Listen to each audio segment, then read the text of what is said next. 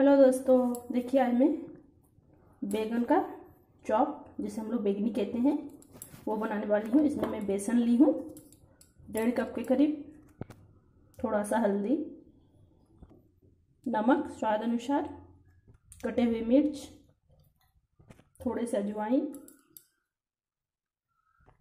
इसको मैं पानी के साथ घोल लूँगी।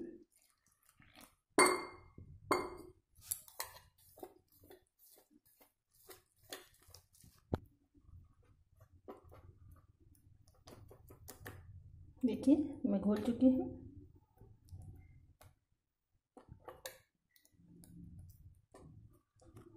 इस घोल को मैं 10 मिनट के लिए ढक के रख दूँगी।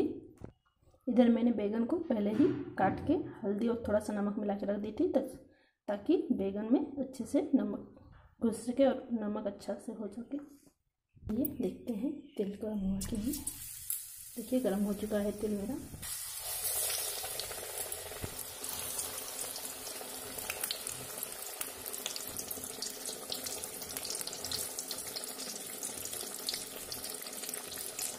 ये मीडियम मीडियम आँच पे आप बनाइएगा, नहीं तो बैगन कच्चा रह जाएगा। मैं पलट चुकी हूँ, कल से। देखिए कितना सुंदर फूल देता है बैगन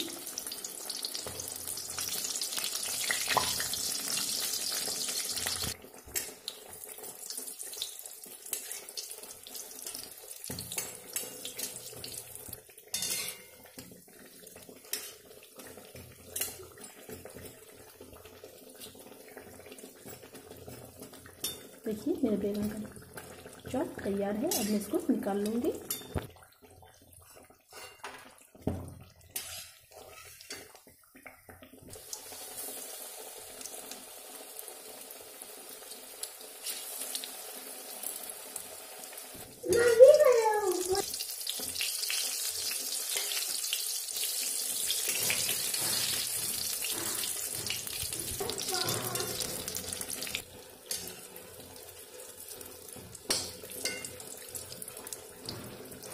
देखिए, मेरा ये वाला भी रेडी हो चुका है। अब मैं इसको निकाल लूँगी।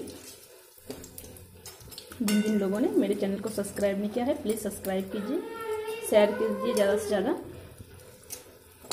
और बताइए, कैसा बना है मेरा बेगनी कमेंट कीजिए, आप लोग कैसे बनाते हैं।